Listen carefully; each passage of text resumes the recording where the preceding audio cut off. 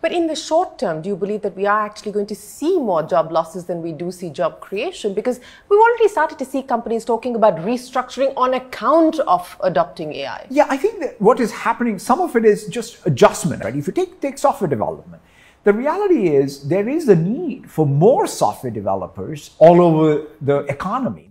This is a great example of reframing a difficult question. Instead of me being negative by saying, aren't jobs going to be displaced by AI, Satya reframes it to say this is all about adjustment, which is a neutral term. And then he spins it positively by saying that we actually need more jobs. Not just in the tech sector. So that's where I think, you know, if there is one sector that's getting quote unquote more efficient, some of the labor force in that sector will disperse more broadly, I think. Uh, so I think that yes, I'm not at all saying that there is not going to be displacement. Like with any new technology, we've seen it.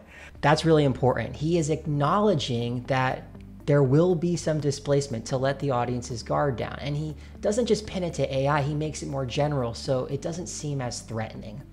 Uh, but I also am very optimistic that we even have both the policy tools and the actual tools to help us manage this transition in a net positive way for even a country like India. He answers the question directly at the end. So by closing with his final point, that's going to stick most with his audience.